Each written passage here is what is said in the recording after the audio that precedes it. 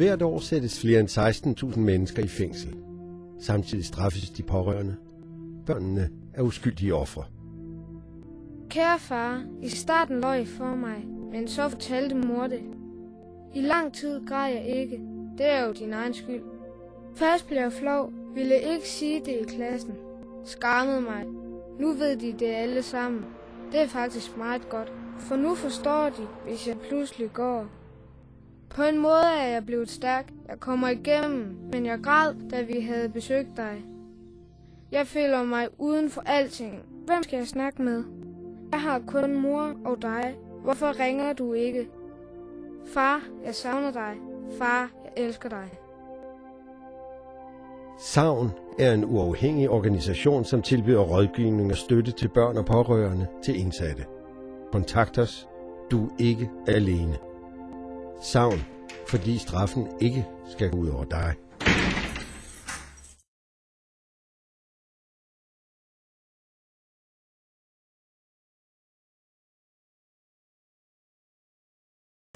Hej, jeg hedder Brian, og jeg har siddet i fængsel.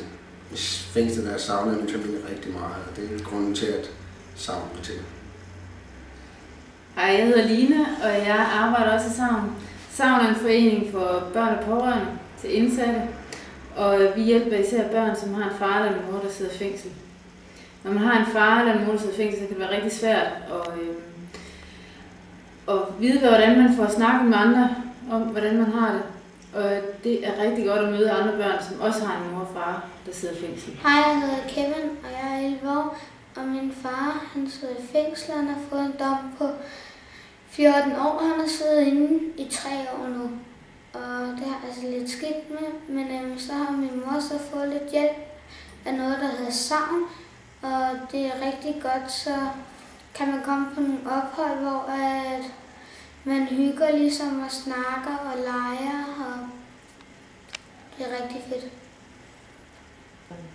Fordi at øhm, man kan ligesom snakke lidt med dem, så forstår de lidt mere af det, og stedet for en fra din klasse, du snakker med, han ved rigtig meget sådan om det. Og så er det lidt bedre at snakke med dem. Mig og min mor, vi var oppe i min klasse for at se min far, han var i fængsel og havde fået en dom på 14 år. Og det var meget godt uh, for, for sagt, så der er ikke blevet snakket. For sagt, så bliver man ligesom ikke drillet eller mobbet. Så vi er rigtig flinke ved en og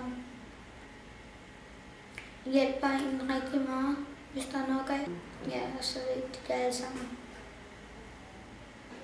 Når man er inde hos min far, så øh, det er rigtig dejligt, og der er måske nogle lejre, hvor man kan være sammen med ham og spille fodbold eller noget.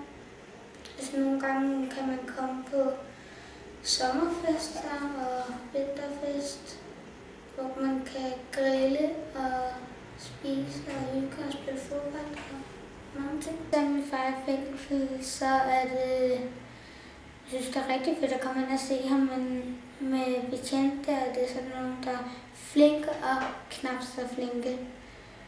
Og så da, man, da, så da han har fødselsdag for eksempel, så vil man gerne give ham en gave, men man kan ikke give ham den, man skal sende den ind i stedet for. Og det er sådan lidt øh. Jeg savner min far øh, tit, når man for eksempel er på ferie, og i sommerhuset og sådan noget. Og når man er ude et eller andet sted i svømmehallen eller noget, så er der, så er der, så er der sådan noget, man savner ham. Og hvis man nu spiller fodbold til en fodboldkamp, så er det heller ikke særlig fedt, at han ikke lige lærer det. Min far han har fået en dom på 14 år, og han har siddet inde i tre nu. Så der er lidt tid, inden han kommer ud. Og med savn, der kan du ligesom snakke med andre børn, så der kan forstå det, forstå lidt mere af det end andre.